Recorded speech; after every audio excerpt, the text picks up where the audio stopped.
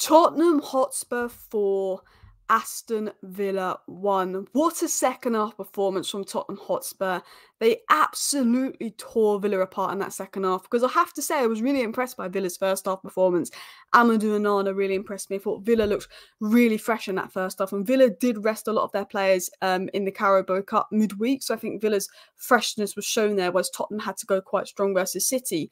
But in the second half, the energy from Tottenham was immense. And Sarr was key to that. Sarr was my man of the match today. I think his ability to cover ground, he was absolutely everywhere, pick up the ball and drive forward, was helping Tottenham in transitions, but he was also stopping Villa transitions. He was key for two of the goals today, just winning back the ball and covering every inch of grass. And while I was so impressed with Amadou Onana in that first half, what Sarr did in that second half really stole the show. I did think he had a good first half. And this is the second time I believe Tottenham have put four past Villa. Ange does love to play Aston Villa. And I have to say, while Villa were the better team in the first half, I think Tottenham absolutely deserved the win. You can look at the statistics here 2.63 XG to Villa's 1.85. I also want to give a shout out to Solanke. I thought he was really good today. I'm really happy for Solanke and the fact that he got his goals. Even though I'm not a Tottenham fan, I really wanted Solanke to get goals because um FPL, but also because he's been getting a lot of criticism lately. And I think it's I think he can improve elements of his game for sure, his box presence and stuff.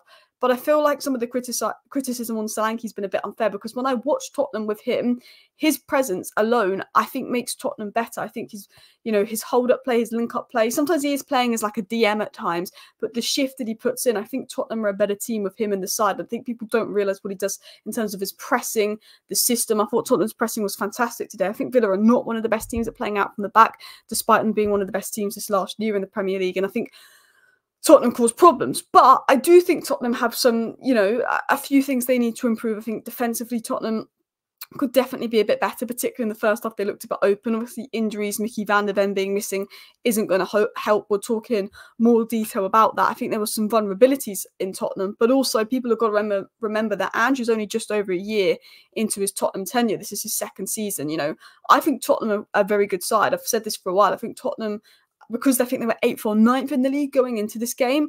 I think some people sort of look at that and think, yeah, Tottenham aren't great, Ange isn't doing great, la di la. But in my perspective, Ange is doing well. I think Tottenham are doing good, and I think Tottenham are on track for a top five finish. Top five is going to get back in the Champions League next year. And when you look at the contents and the context of this being Ange's second season, he's taken over from you know the Nunos, the Mourinho's, the Contes, which is such a different approach. He's got completely rebuild the Spurs side with such a young team. I think you know top five would be a really good finish for Spurs. I think that would that they would show they're on track. They're scoring more goals. I think they are improving. Yes, there's some games where they're good in the first half, like Brighton, but bad in second half, like Leicester as well. Today, not great in the first half, but really good in the second half. I think they need to be a bit more consistent. But I think when you look at the context of Spurs and where they're at in their project and where they're at in the rebuild, I do think Spurs are on track is the way I would describe it. I don't think they're going to win every game and play perfect every game for 90 minutes. I mean, no team does that. But I think when you look at where they are, I think they're on the right track. They're doing well. And I think that, you know, that second half performance from Spurs, the energy was was really good. I think obviously the individual quality showed, you know, the Solanke finish, the Kulu pass for the second goal, the Son cross for the first goal, the Maddison wow for the fourth goal. Even Richarlison were fantastic, fantastic cross for the third goal. But I thought that Ange got it absolutely spot on today. He was brave. Benching Maddison, I think, is I think I've got the Tottenham line up here.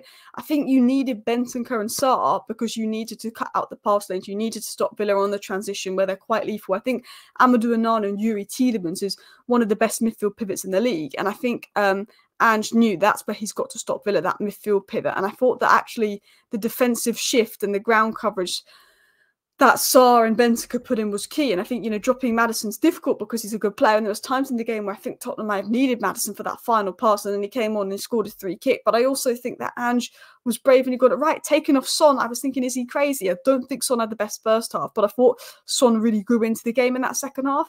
And then that second half, he put in that cross that led to the first goal. He started to look a bit dangerous. He came on off into prevention for Richarlison, which I was like, mm, Richarlison was looking a bit. And then Richarlison puts in that really good cross. Obviously, unfortunately, has to come off after that.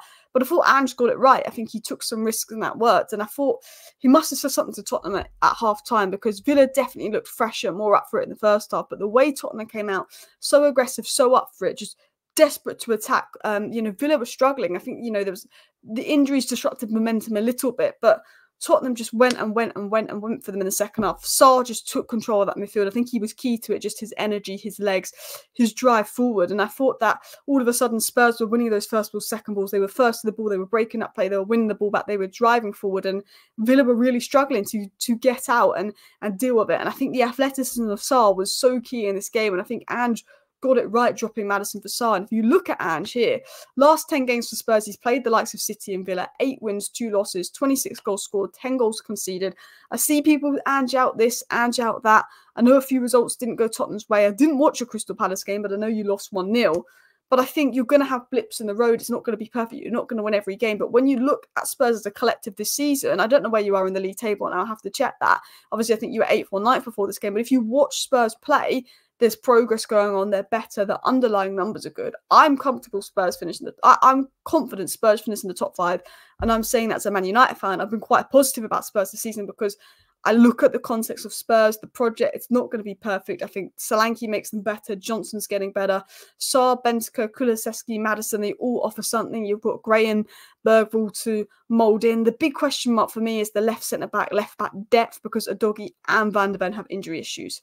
But I want to talk about Sarr um, because Sarr was my man of the match today. Um, I saw this tweet from the Spurs Express.